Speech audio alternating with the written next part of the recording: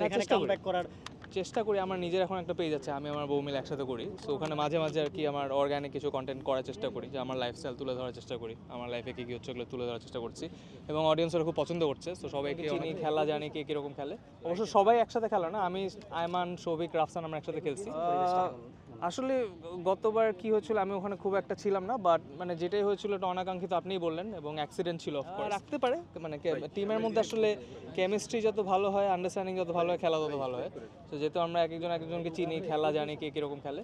অবশ্য সবাই একসাথে খেলে না, আমি আয়মান সৌভিক রাফসান আমরা একসাথে খেলছি। বাকি যারা আছে, ওদের সাথে ওভাবে খেলা হয় নাই বাট আজকে খেলে যেটা বুঝলাম, সবাই মোটামুটি ভালো খেলে। হ্যাঁ সো আন্ডারস্ট্যান্ডিং অ্যান্ড সবাই যেহেতু ফুটবল দেখে, খেলে, বুঝে সো খেলা ইনশাল্লাহ ভালো হবে। আসলে গতবার কি হয়েছিল, আমি ওখানে খুব একটা ছিলাম না বাট মানে যেটাই হয়েছিল এটা অনাকাঙ্ক্ষিত আপনিই বললেন এবং অ্যাক্সিডেন্ট ছিল অফকোর্স সো ওরকম অ্যাক্সিডেন্ট তখন হয়েছে, এবার হবে কি না আমি বলতে পারি না। আর ওটা আসলে আমরা আসলে খেলতে আসছি। সো খেলার বাইরে কি হবে না হবে ওটা আমার মাথা ব্যথা না আসলে। ওনারা যদি সিনিয়রিটি মেনটেন না করেন জুনিয়র ডিরেক্টর ডিরেক্টরদেরকে নিয়ে আসে, তাহলে ওনাদের জন্য সুবিধা হবে। আমি আসলে এখন একটি এসে থেকে আছি। সো আমি ওখানে ইনফ্লুয়েন্সার ম্যানেজমেন্ট নিয়ে কাজ করি। সো আমাদের টিমটা যেহেতু ইনফ্লুয়েন্সার রিলেটেড টিম সো এখন ইনফ্লুয়েন্সার ইন্ডাস্ট্রিটা অনেক বড় হচ্ছে।